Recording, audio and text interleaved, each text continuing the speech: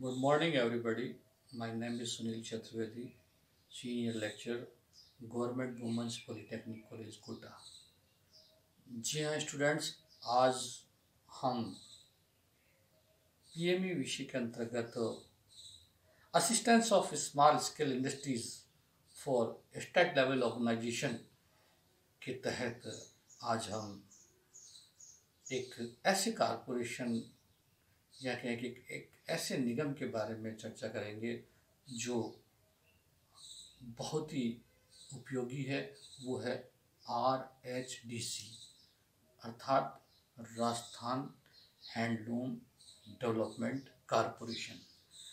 Hindi में हम इससे कहेंगे राजस्थान हथकरदा विकास निगम। राजस्थान हथकरदा विकास निगम, जैसे कि आपको नाम से ही मालूम चल रहा है कि ये एक ऐसा हथकरदा मतलब एक ऐसा एक ऐसा हैंडलूम केंद्र है, जिसकी स्थापना निश्चित तौर पर राजस्थान में हुई है। ठीक है? और इसकी स्थापना का जो मूल उद्देश्य ये था कि यह खासकर गरीब, अविकसित, या ग्रामीण क्षेत्र को रोज़गार प्रदान करने का मूल उद्देश्य इसका जो है, रोज़गार देना है। इसी कारण इस निगम को। इसका जो क्राइटेरिया है, वो ज़्यादातर है जो ग्रामीण क्षेत्रों में इसके अंदर रखा गया है। ठीक है? इसके अंदर हम सस्ते कपड़े हथ सस्ते कपड़े बनाना इस निगम की प्रथम प्राथमिकता रही है। और यह कहें कि आज हथकरदा यह कहें कि आज हैंडलूम हमारे देश में एक रोज़गार का अवसर बन गया है। उन लोगों के लिए जो बिल्कुल गरीब है, अविकसित है, अननोन है, वो दीन दुनिया से दूर हैं, लेकिन वो सूत के माध्यम से कपड़े तैयार कर लेते हैं, घर में ही कपड़े निर्मित कर देते हैं, जिसमें आपका दरी समझ लीजिए, गलीचा समझ लीजिए, ये सब एक प्रोसेस है उस प्रोसेस के अनुसार वो डेवलप कर लेते हैं क्लॉथ तैयार कर लेते हैं। लेकिन ये सब एक ही बिंदु के इर्द गिर्द काम करते हैं, वो है राजस्थान हैंडलूम, विकास निगम। साथ के साथ ये निगम, वो काम करने वाले व्यक्तियों को, खासकर जो इस हैंडलूम में हथकरदा का वर्क करते हैं, उनके लिए सूद प्रदान करते हैं, कम रेट के अंदर सूद प्रदान करते हैं, उचित उनको काम करने के पश्चात परिश्रमिक देते हैं और उन बुनकरों द्वारा निर्मित कपड़ों को मार्केट में वितरण करने का भी काम करते हैं। क्योंकि वो गरीब आदमी मार्केट की नॉलेज उसे नहीं होती है तो वो अपने माल को सीधे हथकरदा विभाग में दे देते हैं या कहें कि उस निगम में दे देते हैं। निगम उनको उचित रेट दे देती है।